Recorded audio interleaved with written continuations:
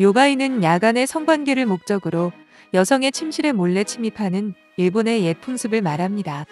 요바이라는 어원은 애초에 부르다는 뜻의 동사 요부에서 비롯되었으며 구혼을 위해 남자가 여자의 침소에 들어가는 행위를 의미합니다. 일본의 옛 혼인 풍습은 결혼 후에도 부부가 같이 살지 않고 남자가 여자 집에 찾아가는 것이 보통이었으며 이 때문에 이러한 행위도 요바이라고 불렀습니다. 100년 전에 메이지 정부가 없애려 했지만 뜻대로 되지 않았고 제2차 세계대전이 끝난 뒤 1960년대가 지나서야 완전히 없어지는데 일본에서 이 풍습이 완전히 사라진 건 겨우 반세기밖에 되지 않았습니다.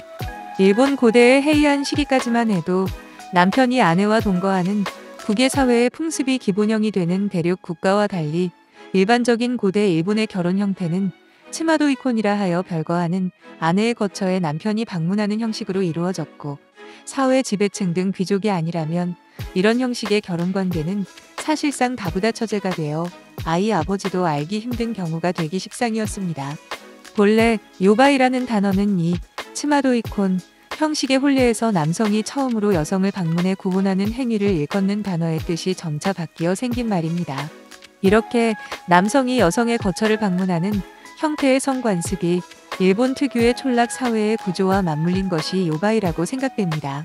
도시에서도 요바이는 많았는데 에도 시대 중기에는 전국적으로 축제를 빌미로 한 야외의 혼음이 허용되었고 이 시기를 잘 노려 신분이 높은 사람들과 관계를 가진 후 회임에 성공할 경우 태어날 아이의 아버지를 제일 신분이 높은 사람으로 지명해 신분 상승과 노후 보장이 이루어지는 신데렐라급의 로또가 터질 수 있었습니다.